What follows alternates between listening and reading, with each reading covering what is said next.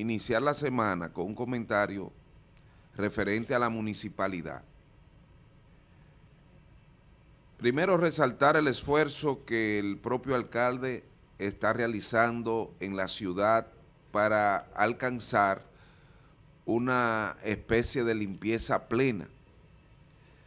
Darle así a su ciudadano la satisfacción de bien elegido. Pero yo he dicho que no valdrán esfuerzo, tiempo, dinero para alcanzar la ciudad que deseamos y que el alcalde ha diseñado en favor de que de los macorizanos. Si no existe la voluntad ciudadana de forma decidida de que todos poder disfrutar de un ornato y de limpieza válido. La alcaldía en su recorrido y he visto al alcalde a las 2 de la mañana, cosa que yo le he dicho que puede hacerlo en los primeros tiempos, pero la sociedad tiene que reaccionar con un compromiso pleno de conservación y de reducción de basura. Disponerla en funda, en saco, en botes, en contenedores, pero no hacer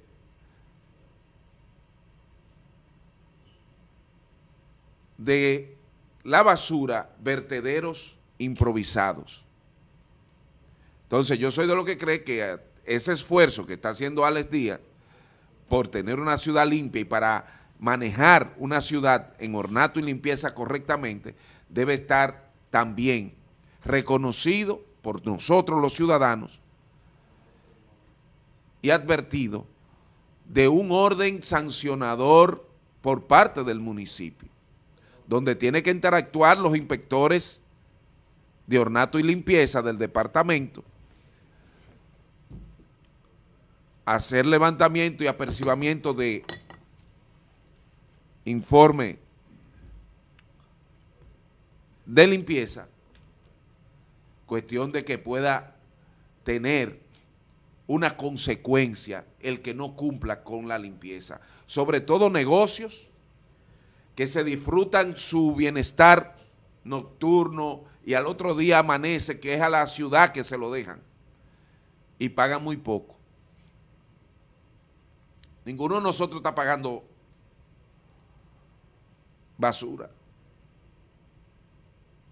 Entonces, el Estado benefactor tiene que ir cambiando al compromiso social de la misma ciudadanía, porque de esa forma se garantiza realmente el esfuerzo que está realizando la alcaldía en el ornato y la limpieza. Hay otro aspecto que yo quiero ponerle, que le pongan atención.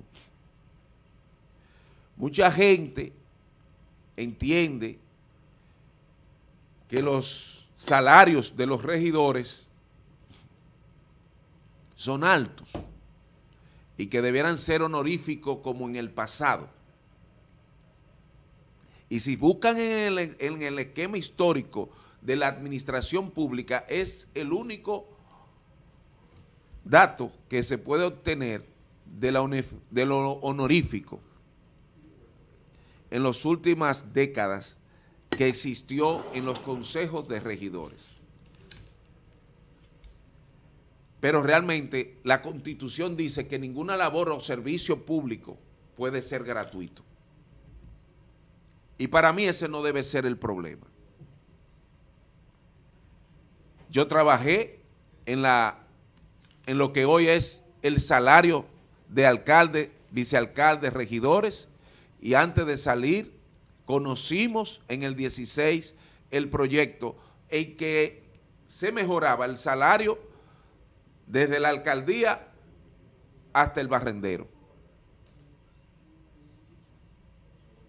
Ahora, la labor que realiza el, regidor es la representación de la ciudad ante las decisiones que habrá de tomar la alcaldía o la, el consejo cuando ha sido propuesto por la alcaldía o por alguno de los regidores.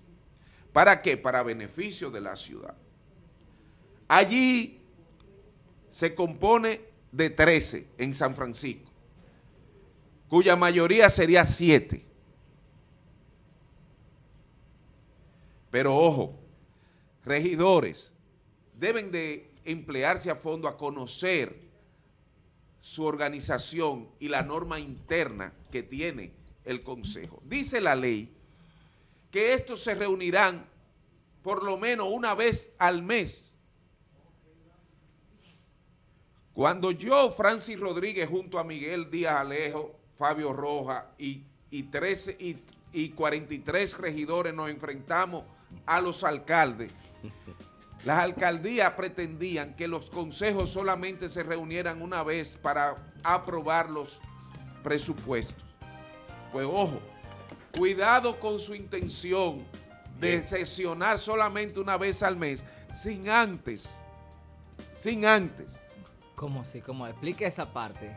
Ellos están proponiéndose ahora, este nuevo consejo, en vez de venir a dar servicio, a trabajar por y para se están quitando obligaciones pretendiendo reunirse una vez al mes. Eso es el producto de la Eso de sería la mayor- garrafal Oye, y tendrían ustedes... Oye, Pero oye, eso es cierto. Eso es producto cierto. de Sí. la mayoría mecánica que tiene el PRM Entonces, en el ayuntamiento. Gracias, cierto, se Pero antes, no, pero pre- para concluir, para que no se quede en el aire.